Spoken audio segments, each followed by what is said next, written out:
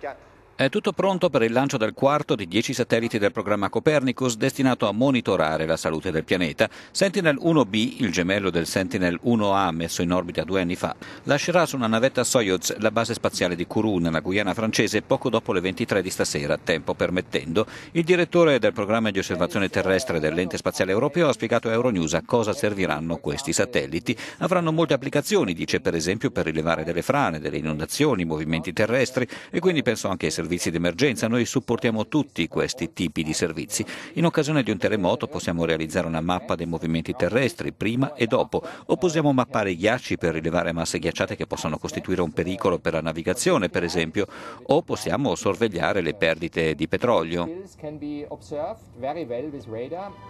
Sullo stesso vettore sono stati caricati anche altri quattro satelliti più piccoli, Microscope per realizzare alcuni test sulla gravità terrestre e tre satelliti CubeSat progettati dagli studenti. Uno di questi è stato realizzato al Politecnico di Torino nel quadro del progetto dell'ESA Fly Your Satellite.